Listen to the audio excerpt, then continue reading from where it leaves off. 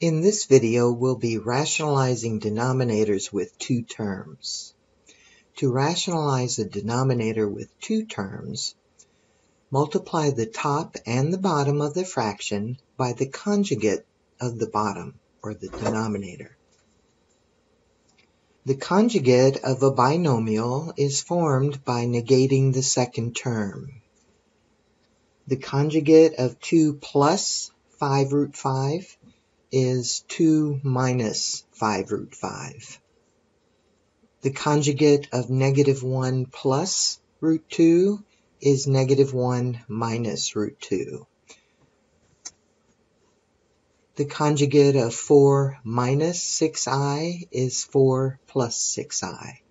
So notice on all of these you keep the two terms as they are and just change the sign of that middle operation. So here we change the plus to a minus. Here we change the plus to a minus. And here we change the minus to a plus. Now the reason for multiplying by the conjugate, let me just show one of these. I'll take this first one. If I multiplied 2 plus 5 root 5 times 2 minus 5 root 5. And we'll just multiply the binomials with FOIL like we normally would. Um, the product of the first two, 2 times 2 is 4. Then 2 times negative 5 root 5 is a negative 10 root 5. And then my inner product 5 root 5 times 2 is plus 10 root 5. And then 5 root 5 times negative 5 root 5 is a negative 25 times 5. So you'll notice that when we multiply this using FOIL, the middle terms will cancel because this one's a negative 10 root 5 and this one's a positive 10 root 5. And all we need to do is take 4 and then minus and then 25 times 5 is 125. 4 minus 125 is a negative 121. So this now is a rational number. Um, let's just look at uh, this last one too. We'll go ahead and multiply that. 4 minus 6i multiplied by 4 plus 6i. We'll use FOIL again. 4 times 4 is 16. And then 4 times 6i is a positive 24i. And now I'm ready for the negative 6i to be distributed. Negative 6i times 4 is a negative 24i. And then negative 6i times positive 6i is a negative 36i squared. Again, our middle terms, one's positive, one's negative, those cancel. That always happens when you multiply conjugates. And we end up with 16 and uh, minus 36 times, and we know that i squared is defined as negative 1. So this simplifies to 16, 36, negative 36 times negative 1 is a positive 36. So that is 52 which again is a rational number. Rational number. Let's do a problem. We're asked to simplify this fraction. The numerator is 4 plus the square root of 3, and the denominator is 2 minus 3 root 3. So I have a binomial, two terms, in the denominator. So I need to multiply the top and the bottom by the conjugate of this denominator. The conjugate all we're going to do is change this minus to a plus. So the conjugate is 2 plus 3 root 3. I need to do that multiplication on the top and the bottom. Alright, so this process is a little time consuming, but uh, not difficult at all. We're going to use FOIL in the numerator here. 4 times 2 is 8. 4 times 3 root 3 is 12 root 3.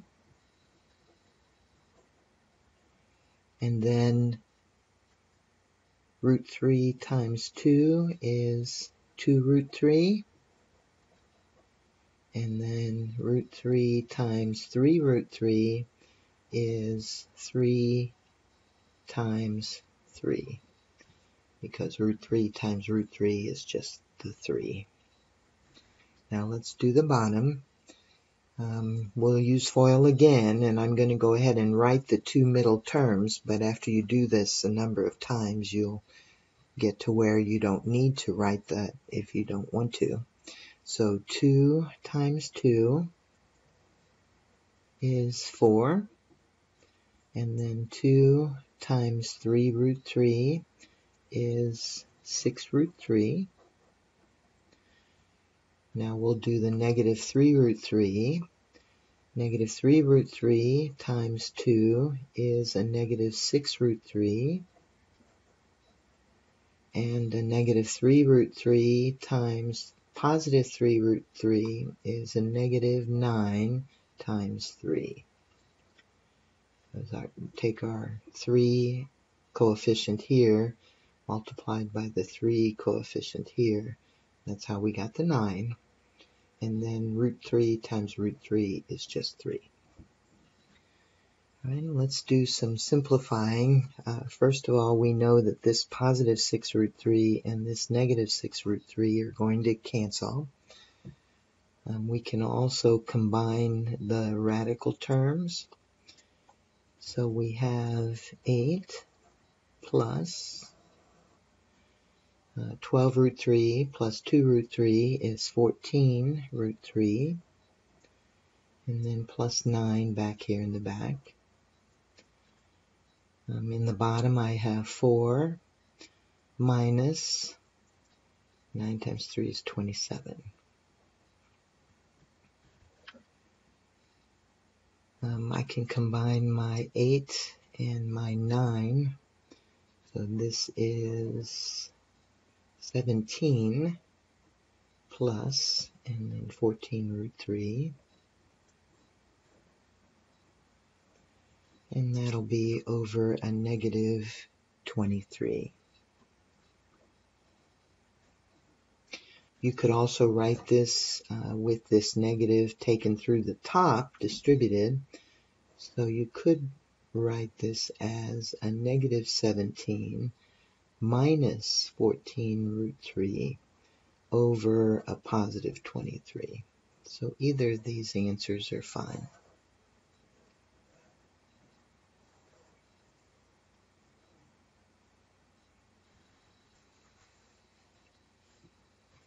Let's do another problem. Here you see that we have powers of i. So if you're unfamiliar with that, you may want to watch the video Powers of i. Um, we know that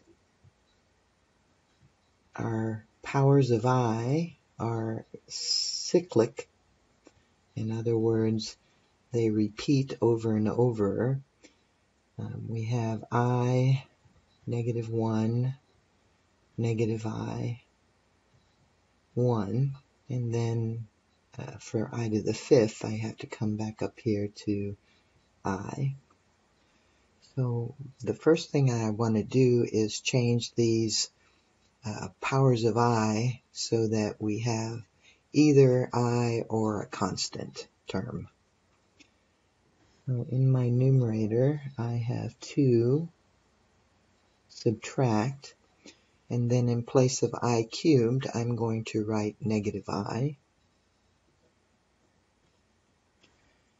And then plus 2 times, and then i to the fifth power, we have to come back up and just write i. Right, in the bottom, I have uh, a negative 2i plus 4. Now, when we write complex numbers, we usually write them in the form a plus bi, so that the imaginary part is in the back.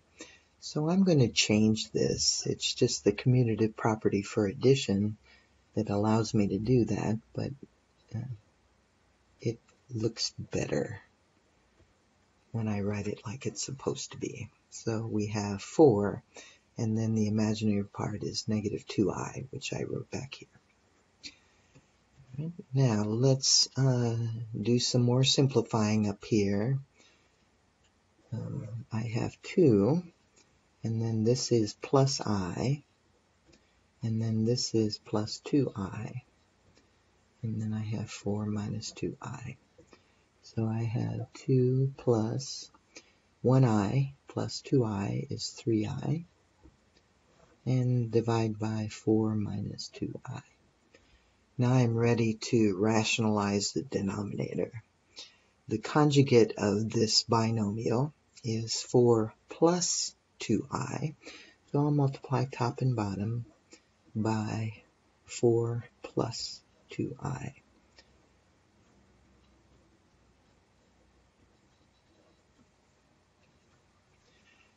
We'll just use our FOIL on both of these. The numerator, I have 2 times 4 is 8.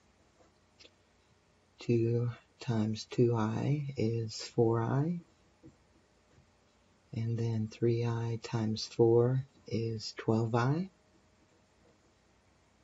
And then 3i times 2i is 6i squared. In the bottom, I have 4 times 4 is 16. And 4 times 2i is 8i. And then negative 2i times 4 is a negative 8i. And then negative 2i times positive 2i is a negative 4i squared. Now these i squareds, this is the same as plus 6 times negative 1, which will be a minus 6. And then this is the same as a negative 4 times negative 1, which is plus 4. So we can combine like terms. In the numerator, I have 8 minus 6, which is 2. And then I have 4 plus 12, which is 16i.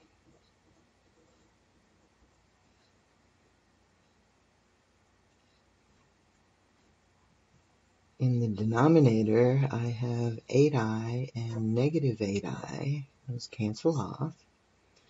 And I have 16 plus 4 is 20. Right. Um, I see that I have a common factor of 2 in all three of my terms. Um, usually when I'm simplifying a complex number like this, I like to break it into two pieces. So one piece is 2 over 20, and then the other piece is 16i over 20. Once it's split into two terms, then I can simplify it easily, and I won't forget to uh, take that factor of 2 out of that second term. 2 over 20 is 1 tenth, plus, and then uh, 16 over 20 reduces to 4 fifths.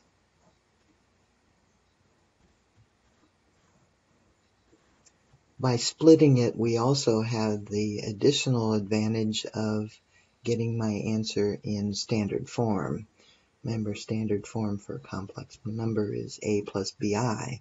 So now I know that a is one tenth and b is four fifths.